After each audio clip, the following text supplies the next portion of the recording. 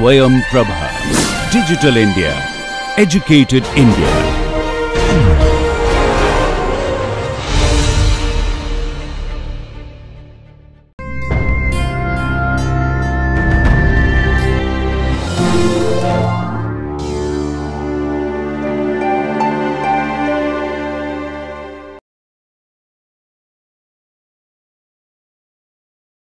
In this lecture, we will discuss about the methods developed for predicting protein secondary structures.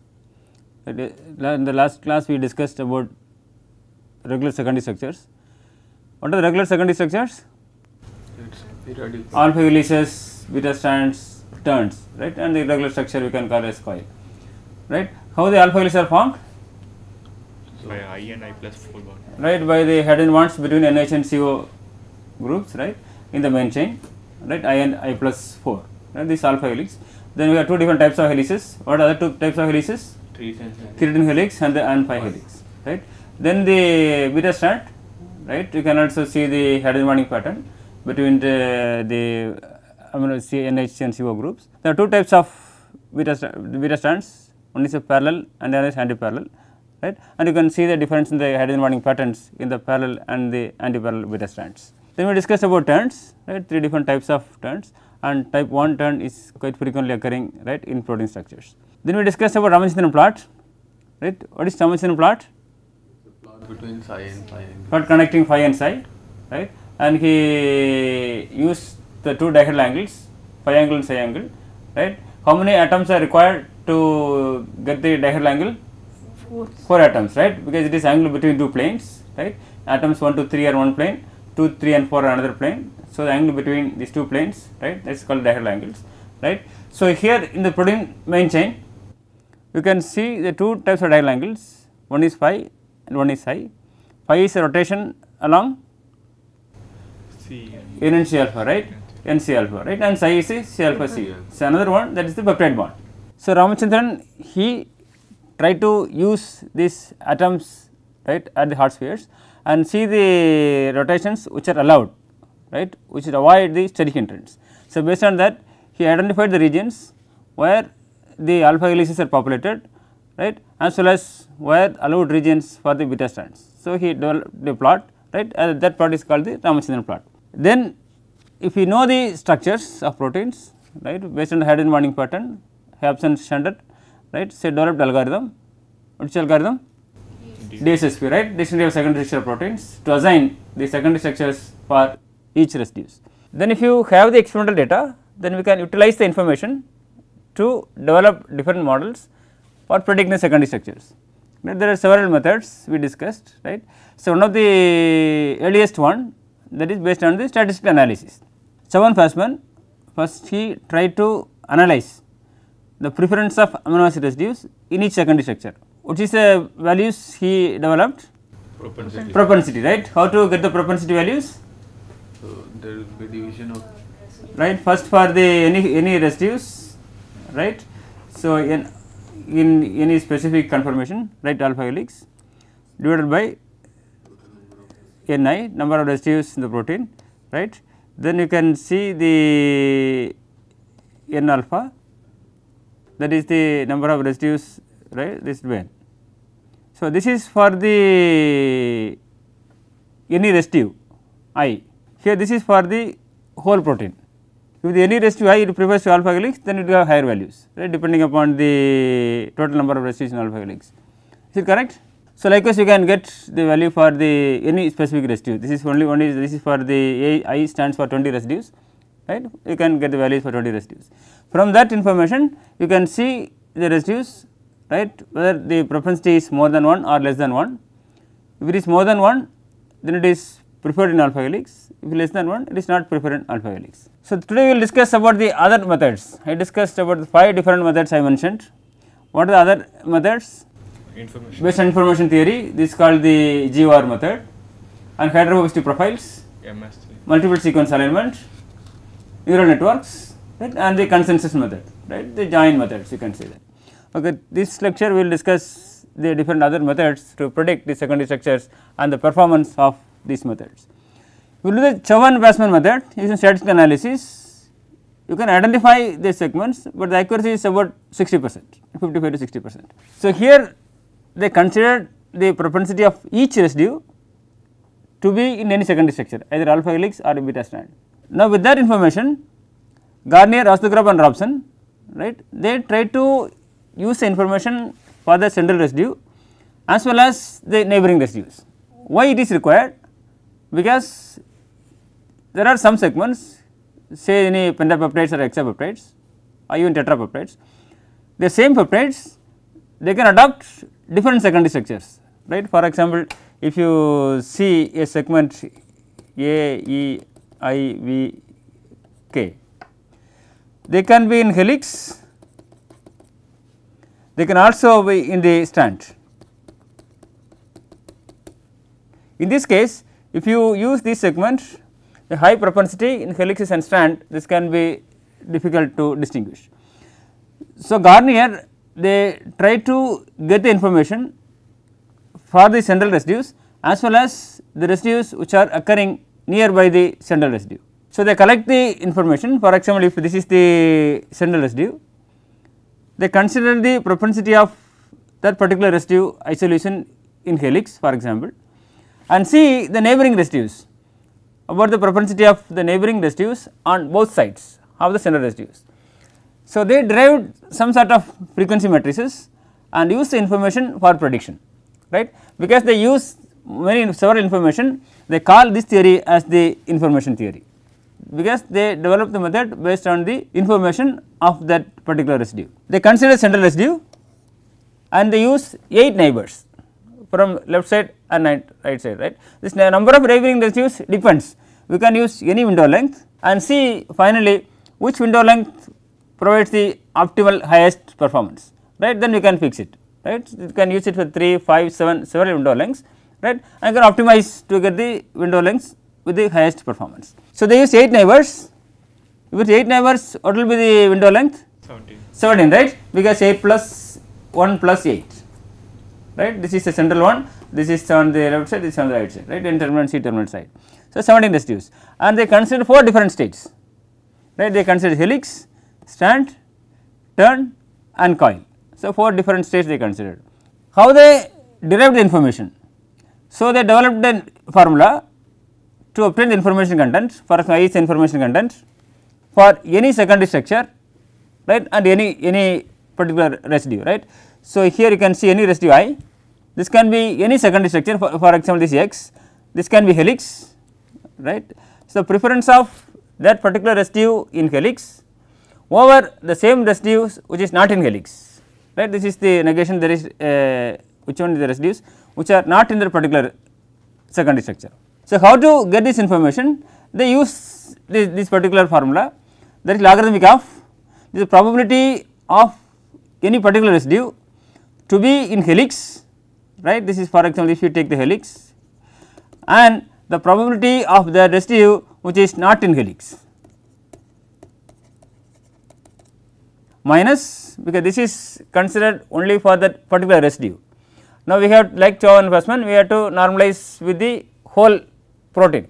So, in this case the whole protein they take the residues in helix and the residues which are not in helix. So, for any residue with any particular secondary structure they try to use the information that whether that residues right prefer to be in a particular secondary structure over the other secondary structures as well as that secondary structure over other not other than that particular secondary structure. So, here you can see this SSI is a secondary structure at a position i in the sequence and X is any secondary structure. They can do it for 4 different secondary structures right? Helix, strand, a coil and the turns. And AA uh, stands for any amino acid residue right? You can use this equation to get the preference of any residues. So, how they derive the probability right which, which information is required to derive the, the probability Okay. we need experimental data right because if you have only the sequences right if you know only the input sequences then we do not know whether the residue alanine prefers to be in helix or strand we do not know. In this case we need experimental data. So, they collected the experimental data with known secondary structure information. For example, the structures are known then you can use the DSSP, it can take the and body information and assign secondary structures. DSSP uses 8 classifications, but we can simplify into 4 classes based on by combining all the helices as one helix like alpha helices, beta uh, pi helices and the 3 helices makes one group called a helix. So, they consider the proteins with known secondary structures right with the secondary structure assignment right. Then we know the assignment right we know the sequence and for each sequence we know the secondary structure assignment right particular residue belongs to helix or strand or coil or turn. Then we calculate the frequency of each amino acid in each of the window positions. For example, if you have the window position 17, what is the preference of residue at x, x minus 1, x minus 2, x minus 3 and so on. Likewise, x plus 1, x plus 2 and x plus 3. So, they have 17 residue positions and calculate the frequency of each amino acid for each secondary structures right. So, they can develop some matrices. So, you can see the 17 by 20 matrix. Here 17 stands for window these are positions right 17 positions and 20 stands for number of residue. 20 amino acids right they can calculate. So, now they use this matrix right to calculate the probability as well as information content because this matrix contains information about the preference of any particular residue at different positions 17 positions right. So, this matrix can be used to obtain the probability of any new residue to be at any particular position that depending upon the secondary structure. So, now they calculate total information content for each state for example take helix they use this information what is the preference of that particular residues to be in helix compared to be not in helix. Then do the same for strand and you can do the same for the turn and the same for the coil. Then we will how many values we will get? Four values. 4 values right? If you have the 4 second secondary structures helix strand uh, uh, turn or coil. So we get 4 different values. Here you will get x1 x2 x3 x4 and they take this 4 and from this which one is the preferred secondary structure? The maximum so maximum of this x1 x2 x3 x4 right? This will give you the preferred secondary structure right? This is the principle used in Garnier's method. Okay I will explain with one example. For example if you have a protein with 1800 residues or a set of proteins with 1800 residues A10 are in helix and 990 are not in helix. That means 990 are span spanning into different secondary structures either strand or coil or turn. Then you take in a particular alanine. So there are 300 alanine right? This for example right, right? This is not exact number this I put for example. So 210 are in helix and 90 are not in helix. Using this information we can derive the information content right? For example the probability of particular alanine in helix right? This is alanine in helix right what is the probability? Totally how many residues? 300 alanines right? We are talking about alanine so with 300 alanines how many alanines in helix?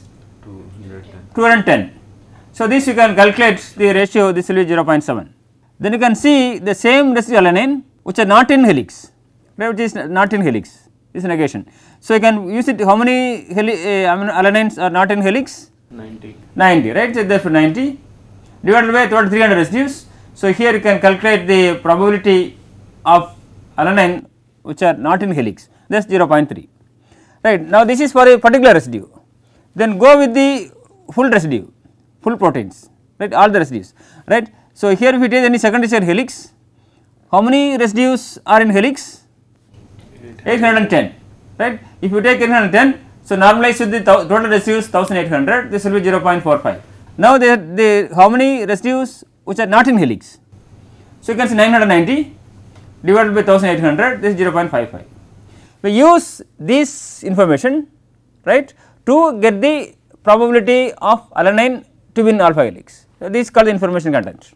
So you can see the probability of alanine in helix which is given as logarithmic of 0.7 by 0.3 this is for alanine. And here this is for the whole protein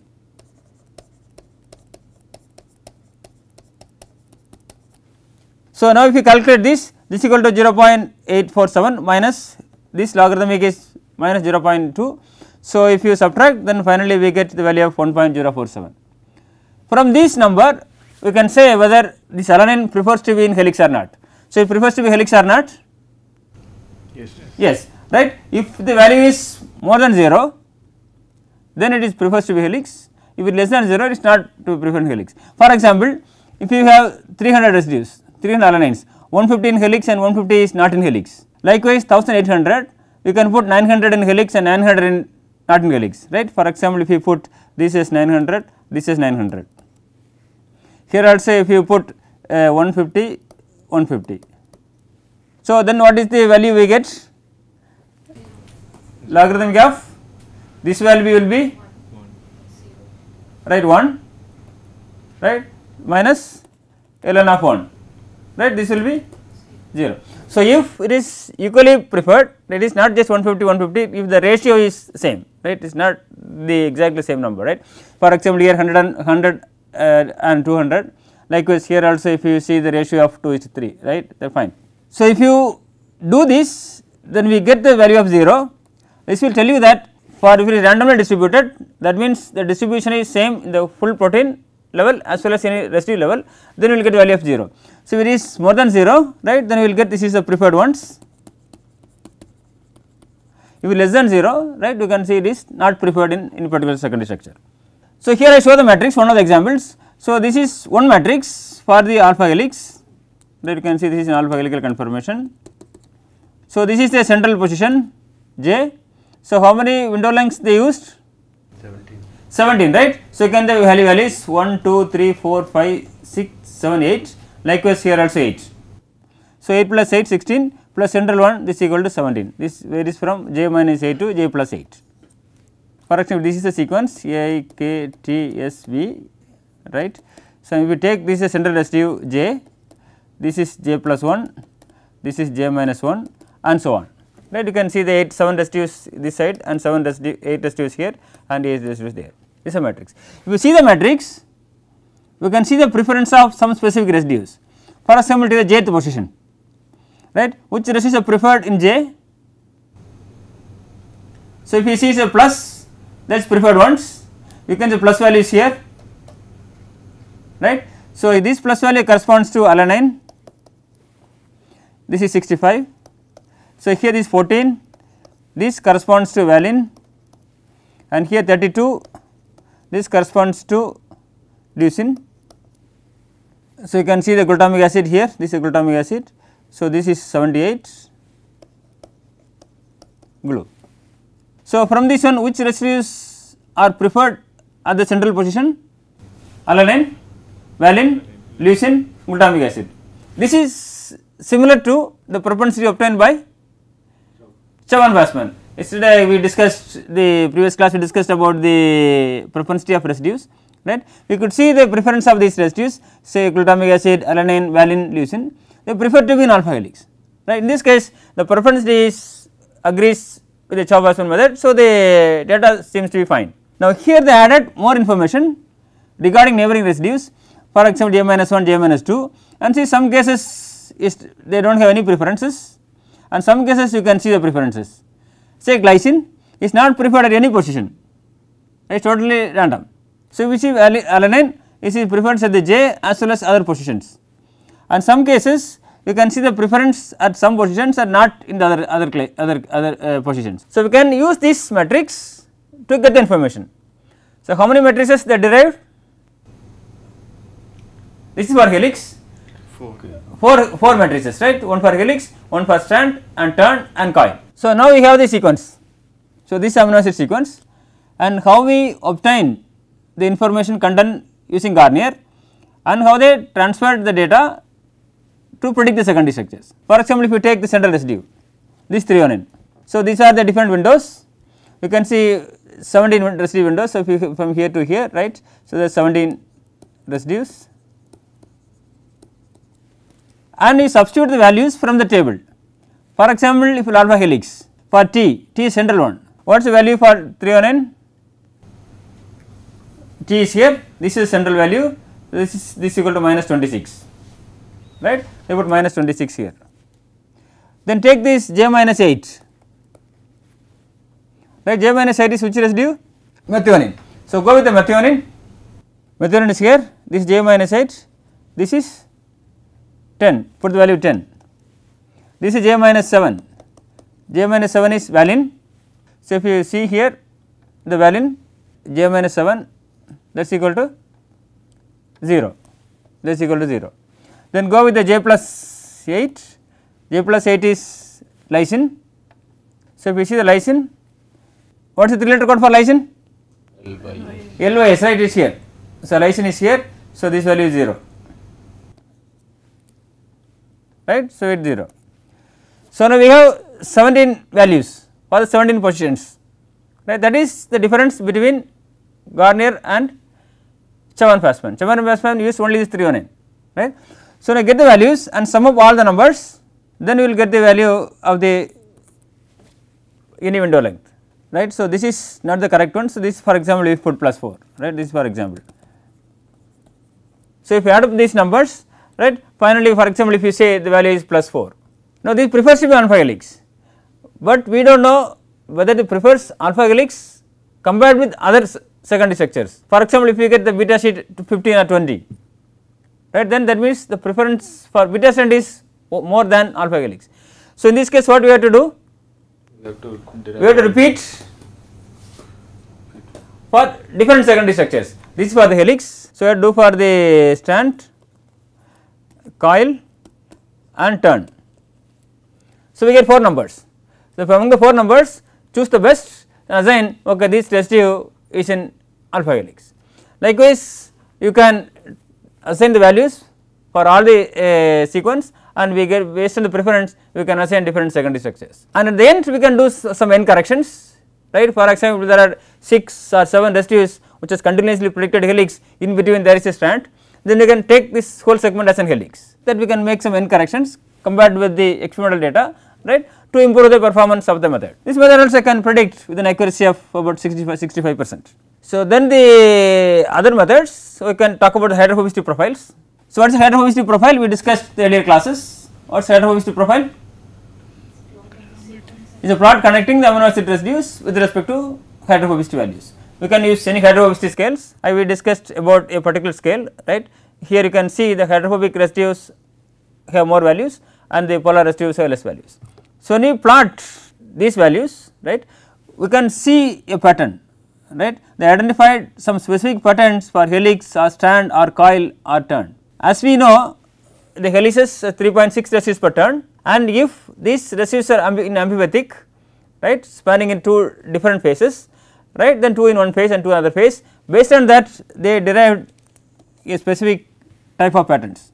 This can work only if the helices are amphipathic in nature. If the helices are not amphipathic then we cannot see this pattern in this case you can the methods will fail right in this case we need to add more information right. But if the helices are amphipathic in nature then they can easily identify the helical segments based on the patterns. Generally in the full all protein structures about 70 to 75 percent of residues are amphipathic right the helices.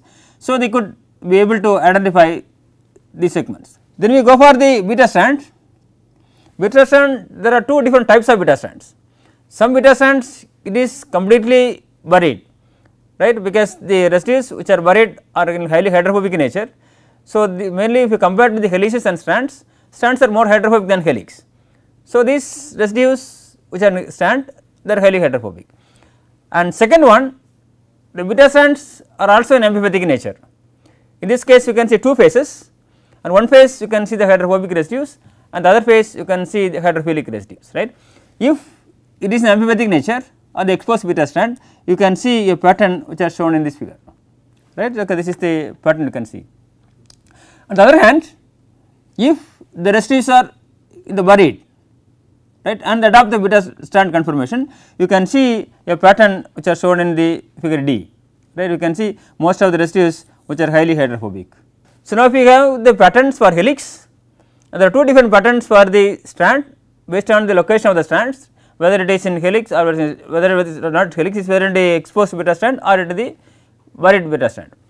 Now, there is another case that is for the turns, turns are generally hydrophilic like the like like loops because accommodated with the polar residues right. In this case you can see a stretch of residues which are less hydrophobic. So, they made these type of graphs based on the known information and the physical basis of how these proteins fold and what are the preference of these uh, different residues in secondary structures. This is not the statistical analysis, it is based on the characteristics of the residues in protein structures. So, if you have any sequence right for example, if we have the sequence we can make a profile and if you have the profile then from that profile you can identify the regions which have any of these patterns.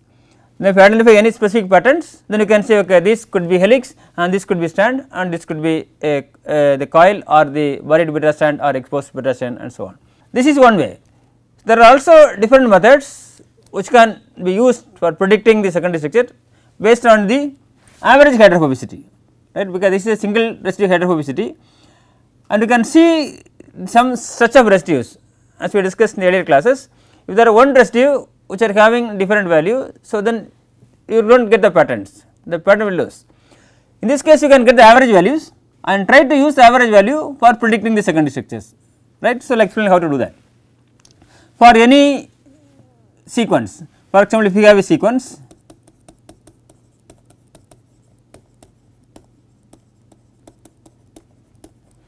you can make different window lengths.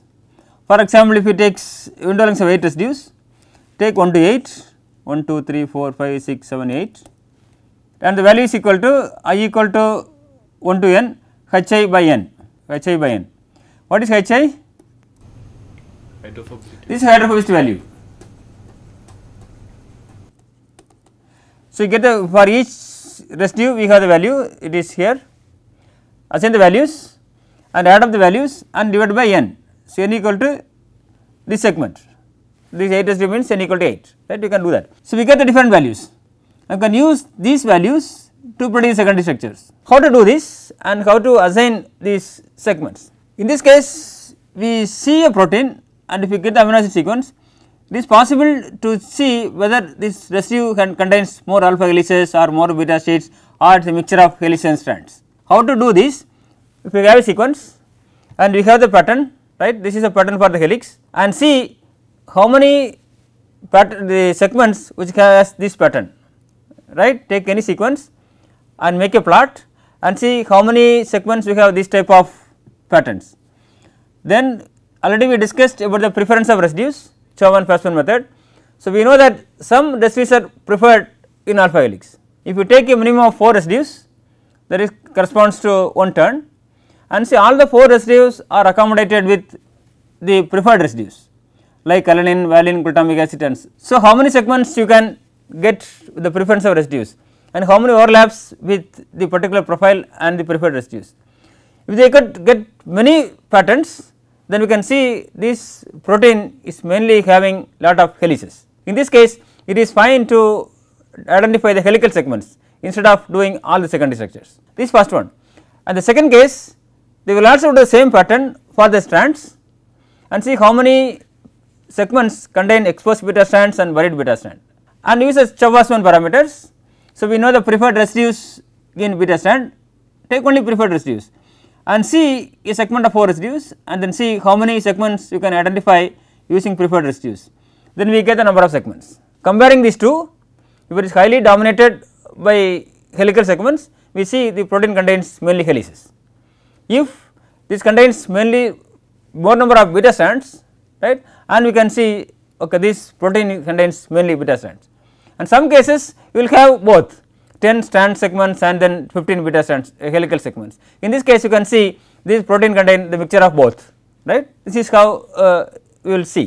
Then if we can see a protein which is dominated by, by helices then we see that there will be many, several helical segments. So, to identify the helical segments what to do first we get the window length of 8 residues and construct a plot okay you can see these are two different examples for two different proteins right. So, here x axis is the sequence. 1 means that means 1 to 8 average of 1 to 8 2 means average of 2 to 9 and the y axis is the hydrophobicity value average value. And if you make the plot you can see there are several peaks right. several peaks. And if you see these peaks some of them are very high from the average for example this is high, high peak and some peaks which are here just the low peak just about the average low peaks. So, if you see these two peaks and compare the known structures you see there will be a longer segment with the corresponds to high peaks and shorter segments of helices in the lower peaks. So, then we see for example, if this is the region with 251 for example, then we can see that this is means for 251 to 258 this belongs to helix.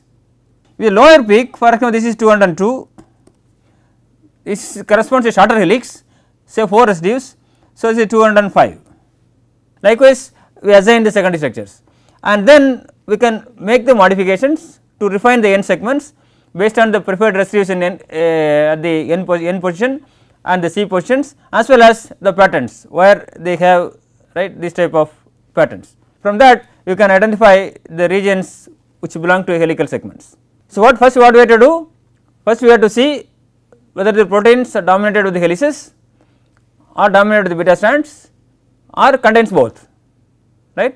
How to do that? Take the 4 residue segments and see how many segments you can identify using preferred residues as well as the patterns in helices. Check for helix, check for strand. For example, helix has 25, strand has 2, then this protein belongs to the alpha helix proteins, predominant with alpha helix. If beta strand is 20 and helix is 3, then we can say these proteins mainly dominant in beta strands. If helix equal to 10, strand equal to 15, right or vice versa, right, then you can say it contains both mixture of that. If it is a helix, then we deal with the helical segments, we do not bother about the strand. So, get the average profile, make into two groups, one is high peak and low peak. High peak stands for longer segments, low peak stands for the shorter segments and we can find the incorrections, make the helical position regions. So, this is an example for the beta strand. So, here we use the window length of 4 residues because short beta strands are frequently occurring in protein structures. So, this way we take 4. Again to make this plot and see there are several peaks.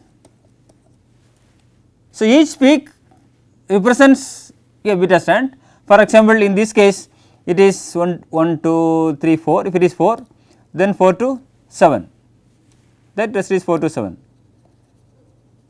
because 4 residue segment. This corresponds to beta strand and then we can make the n correction based on the preferred residues in the n terminal or the c terminal as well as the patterns right. If you have any patterns then you can extend the pattern till the pattern ends. So, likewise we can make the n corrections to identify the beta strands. So, if it contains both Helician strands right. So, we have made the figure one for 8 residues which one is for 8 this is for 8 residues right and you can see the small one right this this figure okay this figure that is for the 4 residues one is for the helix one is for the strand. So, then we see the patterns many cases it is distinct one is here one is helix is here and the and the strand somewhere. So, helix and different distinct places. So, if do so we can discriminate the occurrence of helices and strands we can say some overlap between 4 residue and 8 residue segments then we can get the values and compare the numbers and say whether this can be a helix or the strand right we can get this segment and see the average value based on the average value we can decide whether this can be helix or this can be strand. So, now there are three, three different ways based on the classes you can, you can predict the secondary structures using hydrophobicity profiles.